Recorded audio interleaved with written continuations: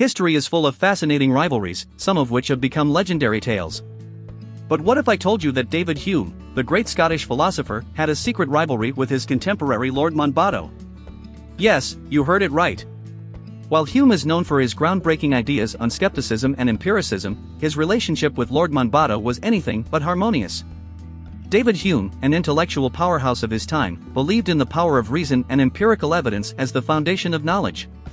Lord Monboddo, on the other hand, was a proponent of a rather peculiar idea that humans had once possessed tails but over time, through evolution, they had lost them. While this might sound like a far-fetched hypothesis to our rational minds, it deeply irritated Hume. He found Monboddo's ideas absurd and nonsensical, challenging the very foundations of reason that Hume held dear.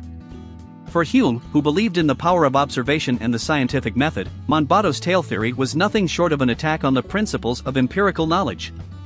But how did this rivalry play out in their personal lives? Let's imagine a scene in a bustling Edinburgh coffeehouse where Hume and Monboddo engage in a heated debate, much to the amusement of the onlookers. Hume, with his sharp wit and logical reasoning, dismantles Monboddo's tail theory piece by piece, leaving him flustered and unable to provide a solid counterargument. This encounter only fueled Hume's conviction that Monboddo's ideas were nothing more than whimsical fancies. Another scene finds Hume walking through the picturesque streets of Edinburgh deep in thought. He stumbles upon a young student who had just read Lord Monboddo's latest work. The student, full of enthusiasm, presents his newfound revelation, the idea that humans descended from apes. Hume's eyes widen, and a mischievous smile appears on his face as he decides to play along with the young student. He engages in a debate, subtly guiding the conversation towards the principles of induction and the limitations of human knowledge. Slowly but surely, Hume leads the student to question the validity of Monboddo's theories, leaving him with seeds of skepticism that might grow into a more critical and rational mindset. David Hume's encounters with Lord Monboddo were not just personal clashes, but also a clash of their respective philosophical views.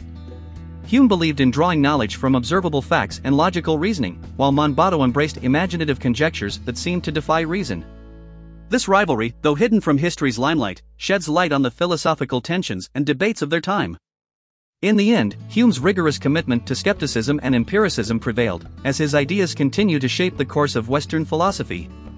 Lord Monboddo's tail theory, on the other hand, faded into obscurity, serving as a testament to the power of reason over fanciful notions.